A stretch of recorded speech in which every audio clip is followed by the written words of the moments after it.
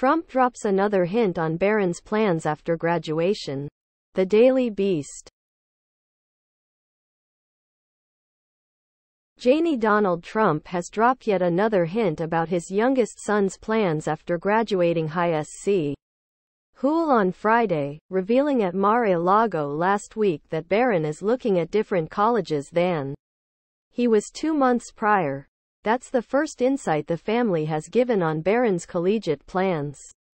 In more than a year, when the elder Trump said his son was thinking about attending the University of Pennsylvania, where he and three of his children attended, other rumors have swirled suggesting B.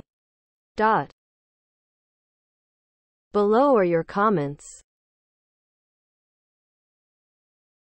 Most students at the time of their graduation already have been accepted by and have decided on a co. Yagi they will be attending. All I know is that every student knows what they will be doing next year on graduation day. My Kusi. NS daughter was accepted at several colleges and made her decision last month.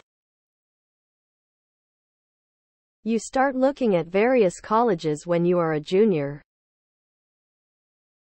I wonder when was the last time Donnie actually talked to Barron. Dot. I think Trump University is a good place.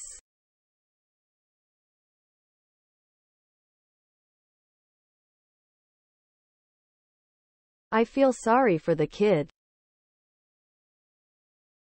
He'll have to deal with the stink of his father forever and it seems he also will be told what and where to go and do.